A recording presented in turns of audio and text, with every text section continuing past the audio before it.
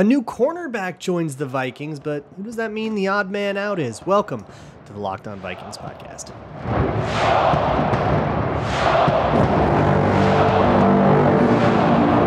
You are Locked On Vikings, your daily Minnesota Vikings podcast, part of the Locked On Podcast Network. Your team every day. Hey, hey, hey, everybody, welcome to the Locked On Vikings podcast, where we're always trying to learn something new. It's part of the Locked On Podcast Network, your team every day. And thank you so much to those of you who listen to this show every single day. My hashtag everydayers, I appreciate y'all so very much. Thank you so much for keeping this thing going especially as we get into the deeper parts of the off season. If you are new here, hello and welcome. My name is Luke, and you can find the show wherever you find your favorite podcasts, whether it is an audio listening app like SiriusXM or even YouTube or Amazon Fire and Roku. Just download the Locked On Minnesota Sports app. Today's episode is brought to you by FanDuel. Make every moment more. Right now, new customers get $200 in bonus bets with any winning $5 bet. It's 200 bucks if your bet wins. Visit fanduel.com slash locked on to get started. We'll start out today's show by talking about Shaquill Griffin, who joins the Vikings. He's been in the league since 2017.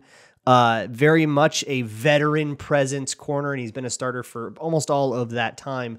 Uh, mostly, you might remember him on Seattle, playing with his brother Shaquem for a minute. That was pretty cute. Uh, but now he's been a little bit more of a journeyman lately, spent a bunch of time in Houston, ended up in Carolina, uh, and now here he is. So he's bounced around the league a little bit. And I, I will, I think, eventually get to uh, watching him maybe just to see. Although we have kind of gotten into the point of the off season where we're seeing a lot more like low octane, like I'll call them competition tier sightings where like the system I have for like parsing out the rosters, there's like starter tier guys that are like Justin Jefferson, right? Like they will start every rep. That's the guy. Uh, and then there's competition to your guys. I would call that like Sam Darnold, right? Or I think Shaquill Griffin will be here, like Jerry Tillery, where they'll probably have a job. They'll probably have to compete for the job or compete for a share of the snaps at their job or whatever. And then you have like backup tier guys that are just there to be depth and then, you know, roster bubble dudes and long shots and all that. But uh, I, I kind of see you know, between starter and backup as a lot of these signings that we have had lately. Jonah Williams from the Rams, uh, Jerry Tillery, most recently of the Raiders. They were bringing Jihad Ward, uh, who also I think would fall into that tier. Uh, he's in for a visit. I don't know if he actually signed. I don't think he did, but he's in Minnesota. He's visiting. He was uh, like an outside linebacker type for the for the Giants. Um, and then you have Shaquill Griffin, I, I don't know what he can still do uh, at this particular stage in his career. I mean, he's not like ancient or anything like that, but perhaps falling away a little bit. Um, but uh, instead of kind of trying to speak off the dome about his ability, I'd rather like hold until I've you know really seen a little bit more, and, and more so, let's just take a quick stock of that room because th- this is the first D back that the Vikings have added this offseason. And that DB's room, kind of the story of the offseason or of this of the 2023 season is that that room was better than we thought it was going to be. I, I, was actually really concerned about it going into the season. They super proved me wrong, or or at least proved me not quite as right. Uh, under that Brian Flores scheme. Now, you could argue that that Brian Flores scheme had to sacrifice in other areas to paper over what may be a deficiency at cornerback. Uh, but nonetheless, they were given a job and they executed it. And then that scheme worked like a whole bunch of times, right? So the problem is, will it continue to work in the future? Right. And and the way the season ended for the Vikings, there's that's a pretty big question mark. So maybe you just need a little bit more raw talent, and a little bit of competition can can work out there. And you know, competition you, there is the old adage of you know if you have two quarterbacks you have no quarterbacks right? Where if you if, if you have two guys and none of neither of them are clear enough like as a starter to like just be the guy and not be questioned maybe they both kind of stink.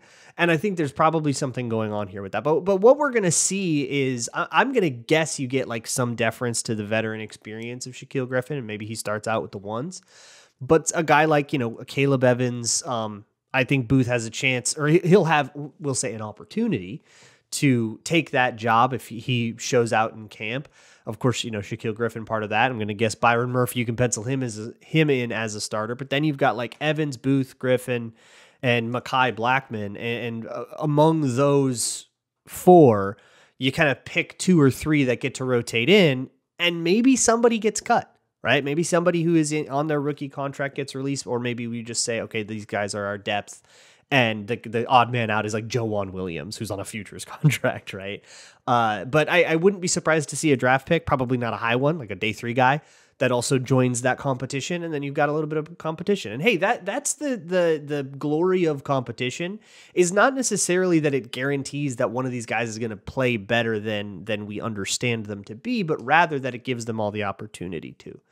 Um, if you think of each player as a as a bell curve of outcomes, right? Some players are gonna totally pop off and, and be way better than we expect, and some players will be worse than we expect. Most of them will be somewhere in between. And if you think of those bell curves, they're all gonna like overlap on each other. If you like overlaid every player's bell curve on each other, some players have higher ceilings, some players have higher floors and stuff. But really, there's gonna be a lot of overlap. And if you think of, you know, competitions, let's say each guy, one of these guys, just to keep it simple, is a coin flip to be good or bad, right? And if you have five of these and you need to hit three coin flips, like your odds are going to be better if you have five coins to flip than if you have three coins to flip, right? Like that's the probabilistic idea of competition. But it also, I think, it just gives people something to fight for in camp. And that tends to bring out the best in people, right? It challenges especially NFL players, you know, with with the mentality that NFL players have, it can bring out the best in them. I'm a big fan of competition. Of course, it would be great if you just had like three unquestioned superstars. You let me know when you find them in an affordable way. Because I think, I don't know, man, the, the unquestioned superstars we have on the roster, people want to trade them for draft picks. So I, I don't know if maybe that's even what people want. But uh, I, the the other angle on this is the compensatory pick angle. Speaking of you know affordability, the Vikings were before the Shaquill Griffin signing in line for two third round comp picks. I spoke about that in depth yesterday, so we should probably update that. He signs a deal, one year deal worth up to $6 million. As of this recording, I do not know how much of that is salary, bonus, incentive, etc. Uh, and that's going to be really important because of the way the compensatory formula works. If all of that is salary, which it isn't because it's an up it's reported as an up to. So some amount of that is either like workout bonus, roster bonus, uh, incentives probably um but if that were a $6 million contract, he would count as a compensatory free agent. He would actually cancel out one of the Vikings comp picks. So again, the way the the the formula works is you count up how many compensatory eligible free agents you lost and how many that you gained. For the Vikings, they lost six and they have now gained five. This Shaquill Griffin is the fifth, which means they are eligible for one compensatory pick. And when deciding what round that compensatory pick is, like cancels like uh, from your gains and your losses. So if you lost a guy that signed for a $4 million deal, but you signed a guy to a $4 million deal, the comp picks for those two will cancel out. Uh, Shaquill Griffin being a $6 million deal. Uh, unfortunately, all that's left is two third rounders. So because one of those is the closest one to him, it'd be the Danielle Hunter one. Uh, he gets that one gets canceled out, and now we're just left with the Kirk Cousins third round pick. As it stands right now, if Shaquill Griffin's contract makes enough. But here's the rub. Um, a, there was a little bit of confusion about the fact that so he got cut from the Texans who had signed him in free agency. He was uh, like a mid-season uh, so he had like a mid-season run with the Texans when Desmond King was hurt and sort of as a depth piece. And then when Desmond King came back, they they waived him, and the Panthers claimed him on waivers. He played a couple games with the Panthers, and so this it's the Panthers compensatory free agent. He was on the Panthers roster at the end of the season, and so he he does count. I don't think the waiver thing makes a difference. Correct me if I'm wrong if we find out. Um, but the other thing is the structure of that contract is going to determine whether or not this actually does cancel out a compensatory pick. And you're looking the magic number, probably like three million in incentives. If it's like half incentive, And those incentives, by the way, have to be not likely to be earned incentives, meaning they have to be something he did not accomplish last year, which they probably are because he bounced around to, between teams. He wasn't on the uh, on a playoff team, so if it's like you know you get one million dollars per playoff win or something like that, or you know a million dollars for a Pro Bowl or something like that, like all stuff that he didn't do, um, then that that would help this and you just kind of have to hope that it's it's not enough to bump that third round pick away. Um, if it is, then you just kind of have to accept that that Kwesi's evaluation here is that Shaquill Griffin is worth more than a third round pick next year. Uh, and the the money, the six million dollars, is pretty small. So that much money, a small amount of money in a third round pick next year for Shaquill Griffin, like he thinks that you know that will do more than waiting a year and picking a Mekhi, a Mekhi Blackmon. That he thinks that that's a more valuable piece. And I think base like I, I don't think a lot of people would agree, but you you you can at least like accept that as a viewpoint and like move forward, understanding that that's the way he's thinking about the situation. There are some other contract details and stuff that I want to go over with you. And then, since we've got a little bit of time and there are a lot of questions from yesterday's mailbag that I wanted to answer that I ran out of time and could not answer. So, I'm actually just going to get to those. We're just going to keep mailbagging. I hope nobody minds. I, you know what? I don't care if you mind. We're doing it anyways. We'll do that next. Today's episode of Locked On Vikings is brought to you by eBay Motors. They have everything you need to maintain your vehicle and level that thing up to peak performance. Look, your car is a part of your life, it's a part of who you are, and you got to take care of that thing if it's making a noise or whatever and you need a part, eBay Motors can get you hooked up. They have 122 million parts and they have the eBay guaranteed fit where your part is guaranteed to fit your ride every time or your money back. But it's not just the boring stuff under the hood. They also have some of the more fun upgrades like LED headlights, superchargers, roof racks, that kind of thing. With eBay Motors, you're burning rubber, not cash. With all the parts you need at the prices you want, it's easy to turn your car into the MVP and the part of your life that it's supposed to be. Keep your ride or die alive at ebaymotors.com. Eligible items only, exclusions apply. eBay guaranteed fit only available to U.S. customers. Today is Wednesday, March 20th. And today at 7 p.m. Eastern Time, that'd be 6 p.m. Central, uh, you can go to the Locked On Sports Today 24 7 streaming channel and find the MLB season preview, a live show with all of the local experts on all the MLB teams previewing the 2024 MLB season. That includes Brandon Warne, who does Locked On Twins and all of your other favorite baseball teams. You can find that on the Locked On Sports Today 24 7 streaming channel on YouTube or the free Amazon Fire TV channels app. Let's move on here, and I've got some contract details to upgrade you on. We've got some void years, baby. We're back. it's the Vikings doing void years stuff again. Uh, seethe accordingly if you're somebody who gets really mad at that for some reason. But um, the main one that I wanted to update you on, this is from uh, reporting from Ben Goessling, is Andrew Van Ginkel who got uh, $10 million guaranteed at signing. Uh, most of it is in a signing bonus. Most of that 10 million is in a signing bonus, 7 million of it, and it is extended through four void years that extend after the life of his two year contract. So out into 2028. Um, that actually spreads things out fairly thin so that ends up not being a lot of money pushed way out into the future if you're super worried about like borrowing from future years and future capital and stuff. Um, if he plays out his contract as it is structured, the Vikings will incur a 4.2 dead cap pen, a 4.2 mil dead cap penalty in 2026, where the cap will probably be well over 300 million dollars. So that'll be nothing. Um, that's pretty nice. The, the interesting thing. So he's actually got an extra void year that the money can't spread out through, which is actually kind of nice because you can see how it works. Uh, if you go to like over the cap, it's nice. It's like visual. It makes sense. So he's got a void year in 2029 that there is no money in. Uh, but he has a $10 million cap hit in 2025. So it gives the Vikings options here. And that's really what this is meant to um, the the reason the contract is structured this way and it's not just let's just pay him you know this you know 7 million this year 7 million next year or whatever the total contract is uh it gives them options. So for one, he's a cuttable asset in 2025. I think he's got an 11 or 12 million dollar cap hit is is the total, and they can save about half of that by cutting him. Let's say Andrew Van Ginkel just kind of falls apart.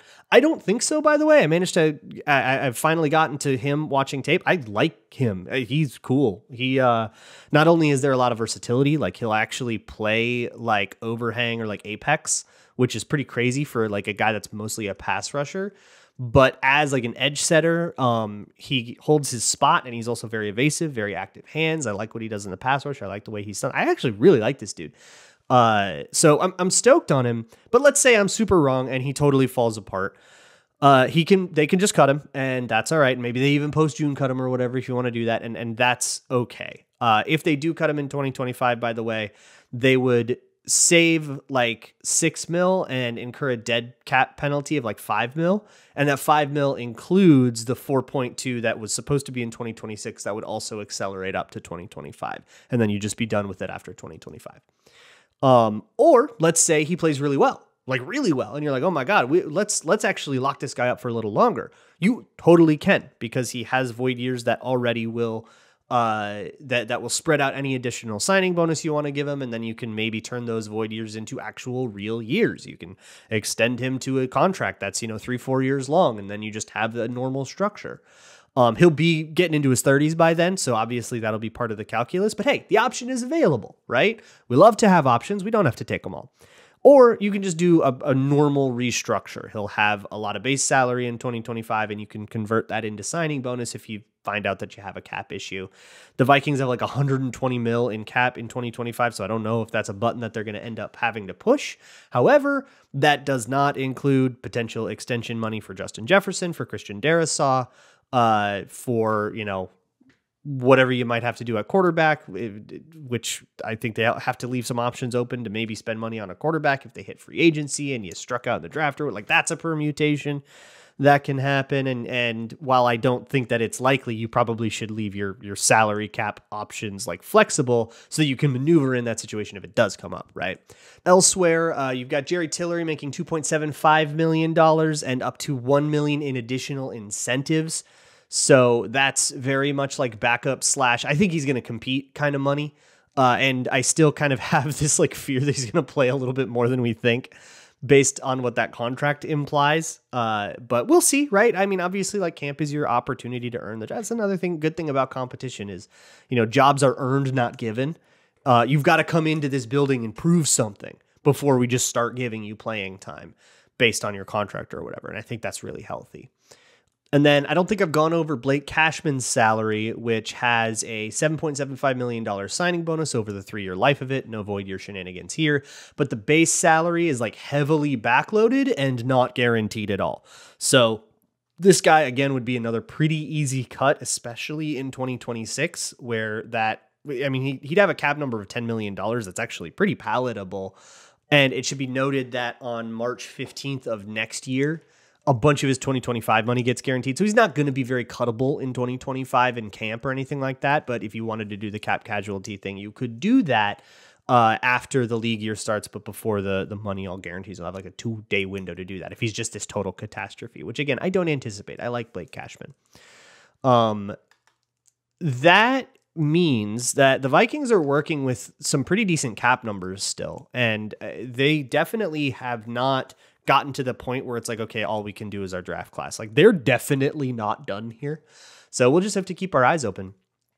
Before I get into some of the like leftover questions from yesterday, I also want to mention that Netflix is coming out with another series that's going to have a Viking in it. If you're into that, Receiver, it'll it's like the spiritual successor to the quarterback series that had Kirk Cousins in it and Justin Jefferson's in this one. So, you know, have fun with that. Try not to be too insane. Uh, we can't listen to him talk without going completely crazy anyways, uh, so there's a bunch of uh, mailbag questions that I want to get to, uh, and I didn't get a chance to get to last time, which kind of stinks. So we're gonna just do that and uh, wrap out the show from there. All right, sound good? No, I don't care. Today's episode is brought to you by FanDuel. Uh, March Madness is here. The first four have already happened as of, or has started as of this recording. And if you want to get started with FanDuel, boy, do I have an opportunity for you? You can get 200 bucks in bonus bets if your first $5 bet at FanDuel wins. So new customers, go to fanduel.com slash locked on. Bet on any college hoops game. You can bet on South Carolina women's to beat whatever their 16 seed is, which will if that doesn't happen, the world will end. And you can get 40 to 1 on that. I mean, come on, you're never going to find odds like that on that kind of game anywhere else. That is 200 bucks on a $5 bet if that bet wins uh, in bonus bets. And you can use that on point spreads, money lines. You can try to pick who's going to win the whole tournament if you want. So if your bracket gets busted immediately, which happens to me all the time, why don't you head over on to FanDuel so you can keep on playing that college hoops game. Once again, that is fanduel.com slash locked on. All right, just a few miscellaneous questions here on the Locked On Vikings podcast because I found some of these kind of interesting. And I wanted to make sure that I got to them uh, without making everybody wait so long some of these are already outdated. Like Scene Season asks, do you feel as if Dean Lowry made as much of a con- contribution as fans think he did? None. and did I miss something on tape? Well, so part of it is that Dean Lowry was hurt for a lot of the season. So like that's going to temper the contribution.